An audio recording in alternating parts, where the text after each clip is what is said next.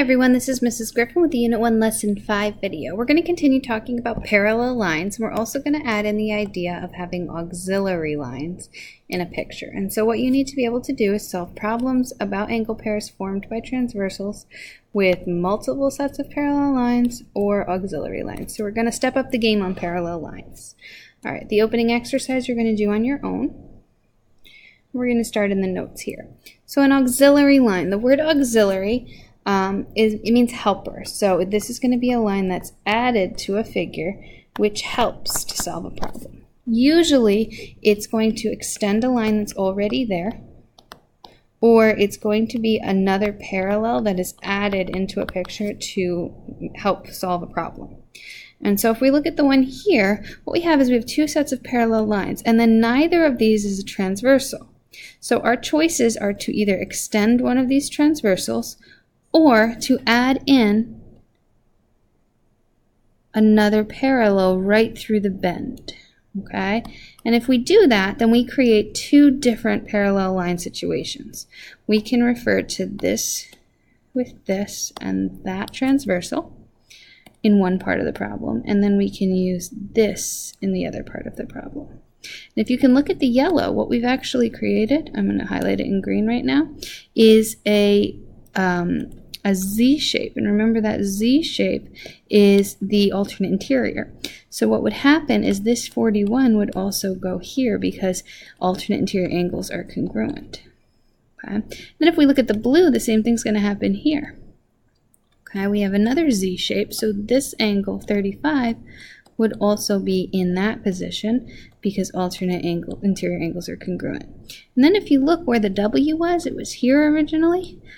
Angle W is all of this together. So if we were to put the 41 and the 35 together, we would get angle W, and that would be 76 degrees. Okay? All right. So if we look at a bunch of these, we can do that sort of scenario. So in number one on the next page, we're looking for angle I, which is out here. So I'm going to draw in the transverse, or the second, third parallel line that goes in here. And I'm going to basically split this into two separate problems. So I'm going to look here at this set of parallel lines with this transversal. And I'm going to start with that. So the first thing I notice is that I can correspond this 117 down to this position. Remember, that means to copy and paste it, to slide it down. And then I see that I have a linear pair here.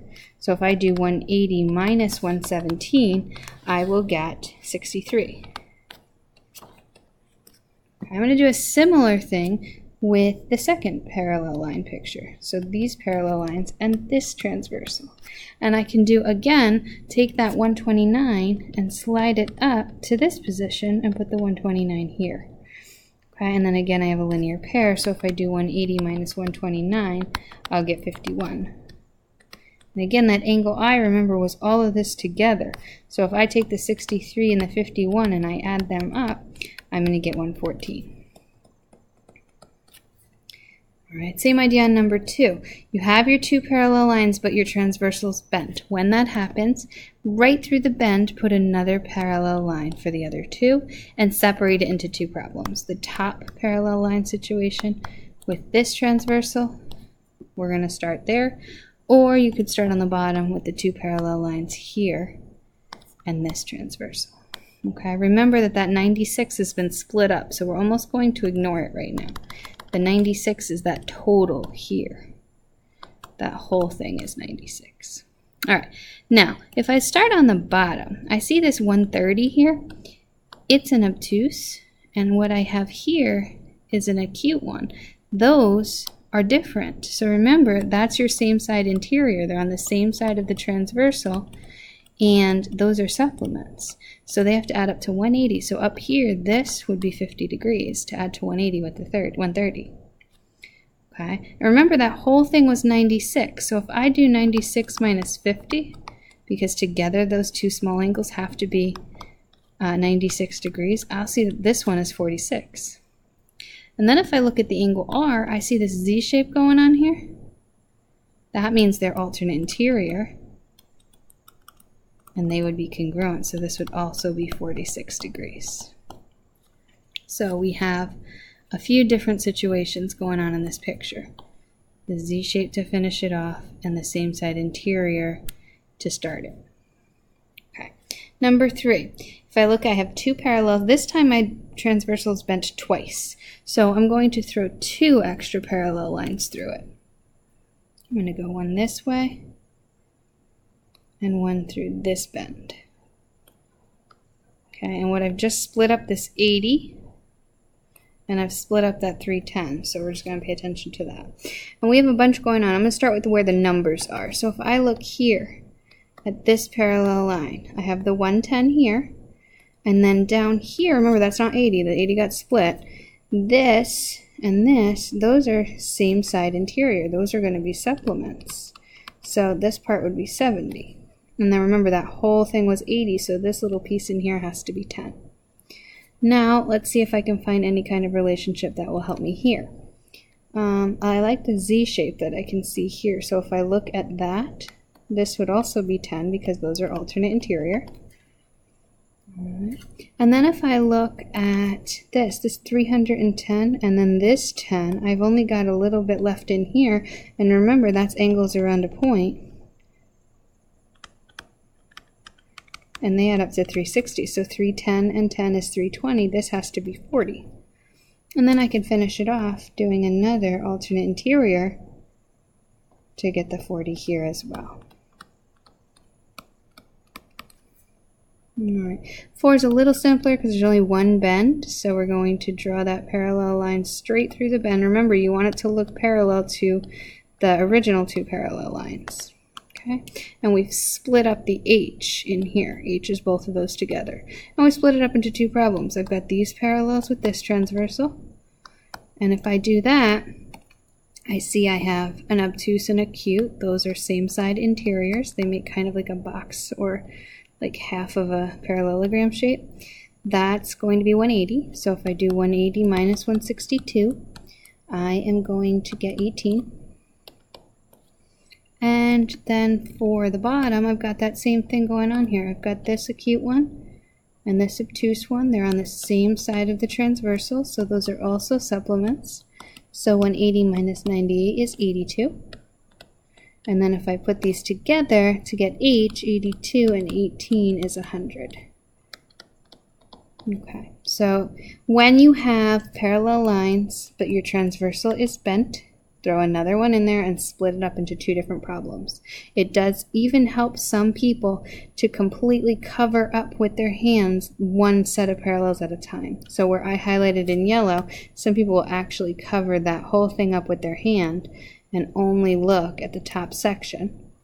And then when it comes to doing the bottom section, they'll do the same thing. They'll cover this all up so that they can only see the bottom section. And it might help isolate the different parallel line properties. Um, so here again we have a bent transversal. I'll throw the extra parallel in there and then if you want you can cover this part up and just look at the top part where I'm going to highlight it in blue. And if you look, that 51 slides in the top right, slide it down, that would also be 51. And then you can cover that up and look at the bottom section. So we have here and here and here. So if you need to cover up this top section here and just look at the green, that might assist you. And then I see a Z shape here. So this is my alternate interior and that would also be 33. And then angle 1 was if I were to put these two together. So if I take your 51 and your 33 and add them together, I'm going to get 84. Okay, same idea here. Make another parallel straight through the bend and isolate it. So if I look at my 129, I see that I have same side in between the parallels. So those are same side interior. That's going to be 180. So 180 minus 129 is 51. And then if I look here, that transversal and these parallels, I see the 84. If I slide it up the transversal to this point, it would be in this spot, and so that would also be 84. And then I can put these together, 84 and 51, to get 135. Okay, so that's your corresponding here, sliding up. All right, number seven, last one like this. Uh, we're going to put another line straight through. Remember, we've just split up the 75 that was here. Um, and we're going to split it up into two problems. So if I look at the 37, I can correspond it down. I can slide it down that transversal like this. Okay, and I can put the 37 in this corner as well. Remember that total was 75, so if I take 75 and subtract 37, this bottom section would be 38.